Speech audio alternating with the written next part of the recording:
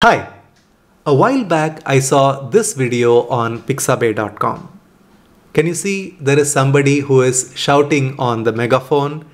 The word feedback is coming from inside megaphone. Now I just wished if it is possible for us to create the same effect in PowerPoint so I can replace this feedback word with any other word of my choice which I can use anywhere to create say a video ad or to place it on my last slide. I can use it in n number of ways. So that is why I created this megaphone animation and let us say I want to showcase that we have a 50% off. I can use it like this and all this is available for me with complete customization. You can see I can bring this to the front and I can change this text to any other text and I can have it move in any direction I want. Now I have complete control over this animation. Now I'm going to show you how I created this beautiful and dramatic megaphone animation in PowerPoint. But before that, I am Ram Gopal from presentationprocess.com, the creator of Ram Gopal's PowerPoint Mastery Program, a comprehensive and creative PowerPoint training program for professionals. Here I am on a new slide in a new presentation. Let us go to pixabay.com and search for megaphone.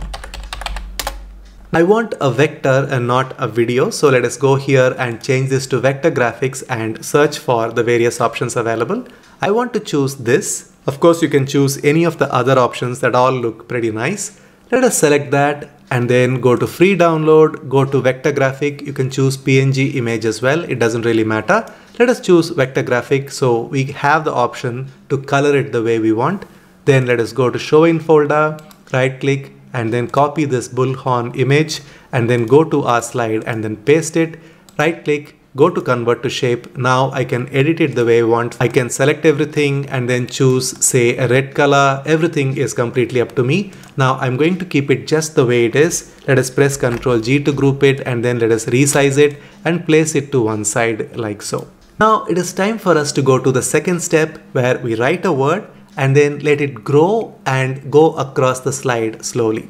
Let us choose a word. Let us go to home, go to text box tool and say, I'm going to announce a sale. Let us choose a thicker font for this. Maybe I can have Amasis or Arial Black, it doesn't really matter. You can have it considerably of a big size like this, but it needs to be smaller than this megaphone Maybe I can increase it a bit more and I can have it like this. Now that looks good. Then to just show you, I'm going to change the color to something that is visible, like say this color. Now I'm going to have this move across. For that, let us go to animations, go to animation styles, and then let us go to motion path and let us choose custom path. Now I'm going to click on the center point here and then click again, click again. Now what I'm doing is I am drawing a path for the sale word to go across. Once I finished it, I double clicked and this as you can see here is ending here. It needs to end somewhere outside. So that is the path. Now if you want this to be smoother, you can right click on this, go to edit points and then you can right click and have it smooth. So that way the movement is really interesting and I'm going to choose all the path to be smooth and everything. Now, once you are happy with that, the next thing we are going to do is to make it grow. So let us select this word, add animation, then go to grow shrink animation. And you can see that that is the way it grows to 150% by default. That is exactly what we want. And it grows in two seconds. Once again, that is perfect. All we need to do is to say with previous. Now I'm going to select this, right click and send it to back. Now when I go to slideshow, you can see that the word is coming out and it's really going fast. So let us go to the first one and change this to say around 8 seconds and hit enter. Now the movement is very slow and deliberate. When I go to slideshow, you can see that the word slowly emerges, grows, and then it moves across like this. Now, of course, I need to make sure that this traverses across to this area and then it comes out. Otherwise, it shows as if it is emerging from the megaphone sides. We don't want that. So how do I change the path? I can right click, go to edit points and I can have this over here. I can right click on this point and say delete point. You have total control over how you want the animation to be. When I go to slideshow, on a click, you can see that the path is changed. Now it is moving across the way we want. Now, once you are happy with one animation, You can of course make a copy of this by pressing Ctrl D and then change this to a different color. Maybe in this case, I want to have this like say uh, this kind of a blue color and then I'm going to change the path. So I select this and then move it across like this.